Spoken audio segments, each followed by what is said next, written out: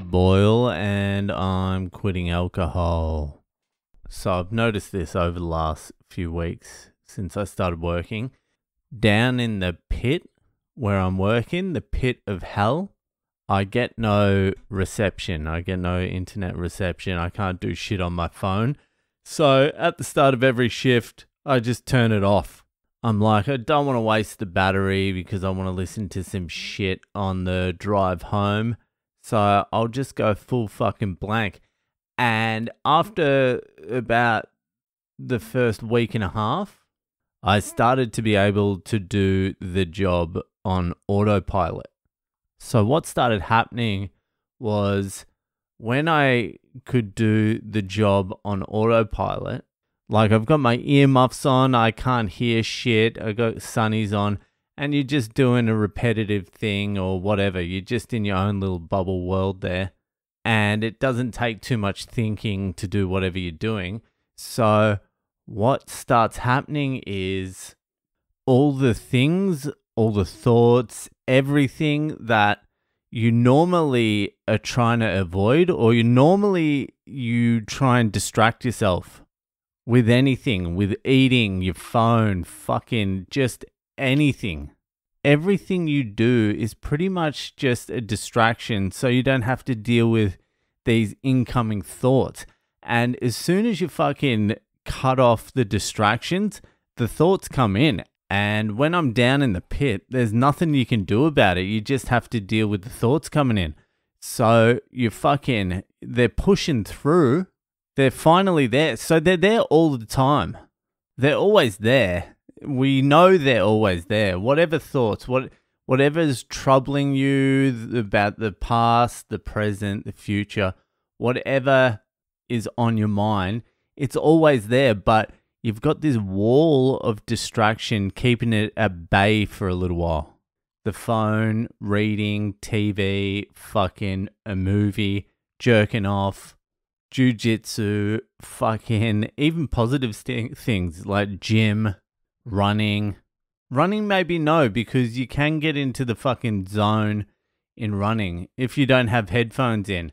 Fucking podcasts. There's another distraction. But these thoughts are there. It's just there's a barrier between you and the thoughts. And the barrier is the distraction. So down down in the pit, I have no fucking barrier and I'm forced just to think the thoughts and process them.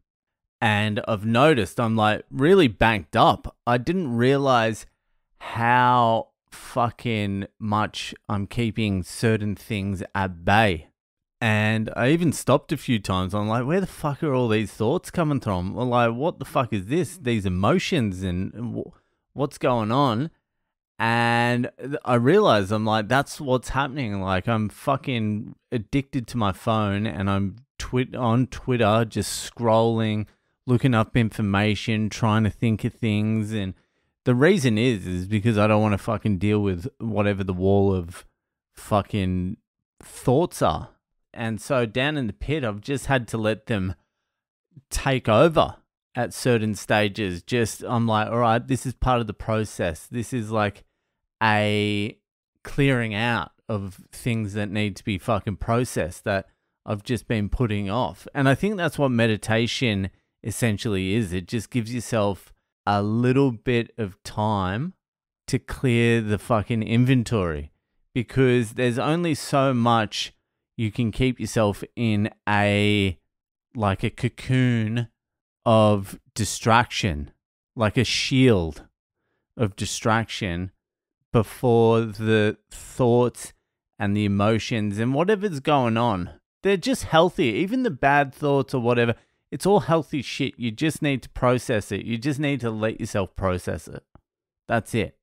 You just need to sit there, grip onto a chair or something, and just let whatever thought or whatever fucking emotion needs to overwhelm you for like a couple of seconds or a minute or a few minutes and then let it pass.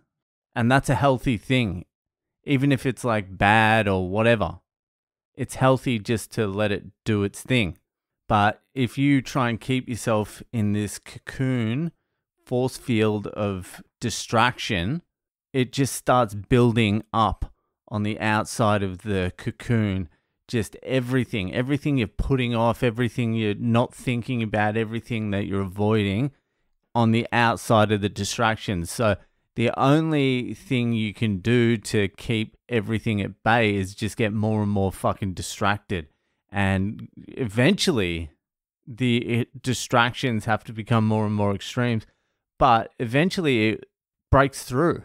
Like, you have to deal with the shit, like, regardless, because the weight of everything that's trying to break through, it eventually breaks through. Unless you like the only way you can stop it temporarily is just get more and more extreme. Drinking heroin drugs fucking just just bury yourself. But it's still coming through regardless. It's going to make its way through. Any little crack in your force field it's coming through and then the weight of it will just like crush you so you you need to have a little bit of time like I would say even like 10 minutes fucking each day just to sit in silence and just let whatever needs to be processed process. I don't even know what it is. Sometimes I'm shocked. I'm like, oh, why am I thinking about why is that a thing I need to be thinking about? And it is pretty uncomfortable as well. You're like, ugh, all right, all right and I just do like a few like deep breaths. It's so funny. I'm down in the pit and no one really knows how close to insanity I really am. Like I'm right on the edge of insanity and I just look like some worker down in the pit fixing some waterproofing. but I'm like but I'm like all right all right, I haven't got a phone. I got nothing else to distract me. Just deal with it. And eventually, you moderate everything anyway. Anyway, that's just a little bit of fucking insight I've had lately. I need to start meditating again, but fucking when? When am I going to meditate? Maybe a little bit in the morning? Do I get up even earlier?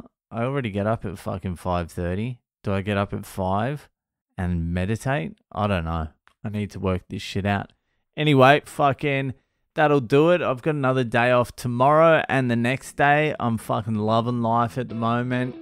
But yeah, that will fucking do. And I'll see you the fuck later.